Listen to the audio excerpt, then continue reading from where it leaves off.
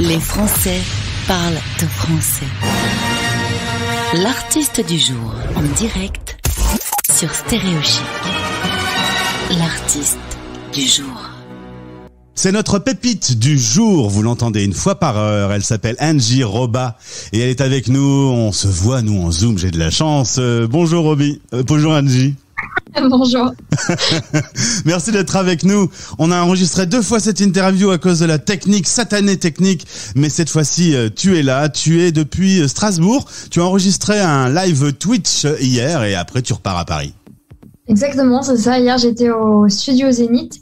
C'est un concept euh, qu'ils ont créé au Zénith de Strasbourg à cause du, confinement. Voilà, comme ça, les gens peuvent quand même venir et monter sur une scène et, et voilà et faire euh, faire de la scène. Donc c'était très cool. Ça m'a fait bien plaisir de, de faire mon petit set. Et puis ensuite, bah, je repars chez moi. Voilà. Ça a dû faire un bien fou d'avoir euh, des techniciens, des lumières qui s'allument. Enfin, euh, t'as dû revivre. Grave, ouais, ouais. Non, c'est très très cool. Ça fait ça faisait longtemps. Et ça fait franchement du bien. Angie, on découvre aujourd'hui ton titre euh, Quand est-ce que ça s'arrête? Avec euh, trois points d'exclamation. Peut-être une référence euh, au Covid, à la situation qu'on a vécue ou, ou à autre chose? Alors en fait, c'est surtout un titre assez euh, assez universel et c'est vrai que j'ai pas trop envie de donner de personnalisation à ce titre, si je puis dire, parce que j'ai envie que les gens puissent se le se le prendre comme ils ont envie. Et voilà, c'est un peu pour ça que je fais de la musique aussi. Donc euh, voilà, j'ai pas envie d'être trop précise.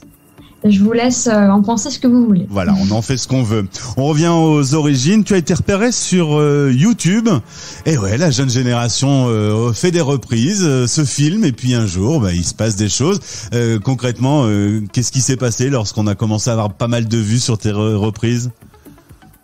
Alors ça a commencé quand j'avais 13-14 ans. J'ai posté des, des petites vidéos avec ma guitare sur YouTube.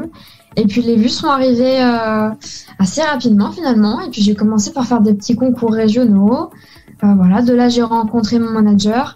Enfin, il s'est passé, euh, il s'est passé vraiment plein de choses. Le parcours a été euh, assez, euh, assez long et, et- bien rempli. Il s'est passé plein de choses intéressantes. J'ai eu beaucoup de chance. J'ai rencontré pas mal de gens. Et euh, voilà. Et aujourd'hui je suis là et je sors mon nouveau single. et ça avance. Euh, c'est vrai que hum, il faut le signaler quand même. Euh, T'es dans une famille d'artistes puisque euh, il y avait beaucoup de trapézistes, clowns, dresseurs de fauves et jongleurs dans la famille qui était italienne. Exactement, exactement. C'était à l'époque de mes grands-parents, arrière-grands-parents, euh, qui étaient artistes de cirque. Alors malheureusement, moi, j'ai pas, j'ai pas connu ça, mais c'est vrai qu'on a, on a toujours gardé cette mentalité de, de vivre ensemble et de jouer de la musique et de, et de partager plein de choses. Donc euh, voilà, je pense que c'est aussi de là que, que me vient mon envie de faire de la musique et de la scène en tout cas. C'est peut-être plus simple dans une famille euh, d'artistes de dire que tu veux faire chanteuse que si euh, papa était fonctionnaire et maman professeur des écoles. Sont plus compréhensibles, euh, effectivement.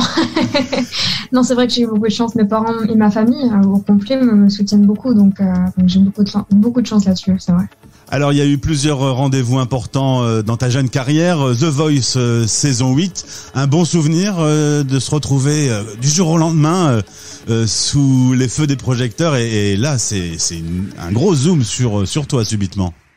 Je dois dire que ça fait assez bizarre en vrai, parce que euh, j'ai été habituée à faire un petit peu de scène, à, à chanter devant, devant un public, mais, mais la dimension The Voice, c'est assez spécial avec toutes ces, toutes ces caméras, toutes ces interviews. Euh, voilà, c'est pas, c'est pas quelque chose de, enfin, qui est très naturel chez moi, et j'avoue que ça fait un petit peu bizarre, mais c'est très très intéressant en tout cas de pouvoir voir l'envers du décor. Moi, j'ai regardé The Voice pendant, euh, je crois, 8 ans sur mon canapé. Et d'un coup, Et, euh, et, et là, avoir l'envers du décor, voir nous-mêmes les fauteuils, enfin, c'est surtout très stressant aussi, je dois Ah le ouais, dire. Mais je, je me mets à la place des artistes. Voilà, t'étais euh, dans ta chambre, tu faisais des reprises sur YouTube et d'un coup tu te retrouves sur une machine incroyable avec un nombre de des millions Ouais, d'auditeurs. J'ai failli mourir. Non, quand t'arrives, quand t'arrives et que les, les portes s'ouvrent devant toi, là, et tu vois le micro et les quatre fauteuils. Alors, les quatre fauteuils, tu les vois déjà pendant la répétition, sauf qu'il y a personne dedans. Donc, du coup, psychologiquement, c'est pas si impressionnant que ça. Mais là, tu te dis, ok, c'est mon moment, j'ai une minute cinquante. Si je me plante, c'est- c'est c'est mort, je repars chez moi. Ça doit être dingue. Ça fait vraiment très bizarre. Et en plus, on sait qu'il y a ces personnalités-là ces coachs-là, qui sont quand même des, des, des voilà, des, grosses personnalités en France, et ils sont là sur des fauteuils tournés, ils sont de dos. C'est, enfin, ouais, c'est, euh, ouais. T'as participé au projet euh, Sardou et nous également, des premières parties de Vita, Michael Jones. il s'est déjà passé plein de choses pour toi. Exactement, oui, j'ai, participé au projet avec les, les Kids United. C'était en 2016. C'était euh, c'était vraiment sympa de pouvoir faire un projet en, groupe comme ça. En plus, les kids étaient vraiment sympas. Et, euh, et voilà, ça m'a permis aussi de faire un, clip avec Sardou par rapport à la reprise que j'avais faite sur, sur l'album. Donc euh, voilà, franchement très très cool. voilà, tu t'ennuies pas. Euh, côté écriture de tes morceaux, tu m'as fait rire quand j'ai cherché sur le net des infos te concernant. Tu, tu dis alors souvent euh, il y a l'écriture de, de, de, la musique, il y a l'écriture des paroles. Toi tu dis moi moi c'est le bordel dans ma tête. Exactement, dans ça résume très très bien. En fait, je, je sais pas comment ça vient, je sais pas comment ça repart. Pour être honnête, j'ai un peu l'impression que c'est pas moi qui écris. Euh, que c'est plutôt un petit bonhomme dans ma tête qui se dit ok là tu vas tu vas écrire ou alors tu vas pas écrire. C'est-à-dire que quand c'est moi qui décide, euh, la plupart du temps ça ne marche pas. je suis un peu à la, merci de, de cette deuxième personne dans ma tête. Mais euh, voilà, je pense que pour tous les artistes, c'est c'est un peu pareil. Finalement, on ne sait pas vraiment euh, d'où ça vient, mais ça vient. c'est l'essentiel. C'est l'essentiel. Angie Roba et son double maléfique, euh, teinté de teinté de pop, de folk, d'électro. Il y a des artistes qui t'inspirent plus que d'autres? Ah, bien sûr, oui, bah oui, toujours. Moi, à la base, je, je pars d'un terreau assez rock et folk c'est ce qui m'a emmené à la musique en premier. Donc, euh, bah, du côté rock, tout ce qui est Beatles, ACDC, Rolling Stone. Et puis le côté folk, euh, Damien Rice, Ed Sheeran.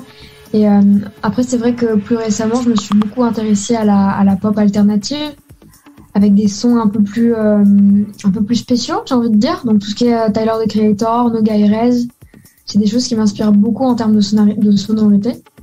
Et voilà, c'est un petit mélange de, de tout ça.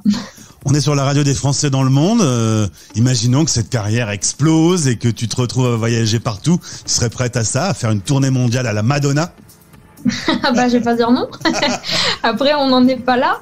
Mais, euh, mais non, mais évidemment, évidemment euh, que je ne dirais pas non. C'est tout ce que je te souhaite en tout cas. Est-ce que ton prénom a un rapport avec la chanson des Stones? Bah ça, faut demander à mes parents. Ils me l'ont jamais dit, mais j'espère. J'espère bah, parce que c'est vraiment une de mes chansons préférées en plus. Donc, euh, bah, elle est très très belle, je vais leur demander. Un beau hasard si c'était pas fait exprès. Angie Roba sur Stéréo Chic, le titre euh, Quand est-ce que ça s'arrête? J'essaye de le faire avec les points d'exclamation. avec les points, ouais. Merci d'avoir été avec nous depuis ta chambre d'hôtel de Strasbourg et euh, on t'écoute une fois par heure. sois la bienvenue sur l'antenne de Stéréo Chic. Merci beaucoup. Stéréo Chic.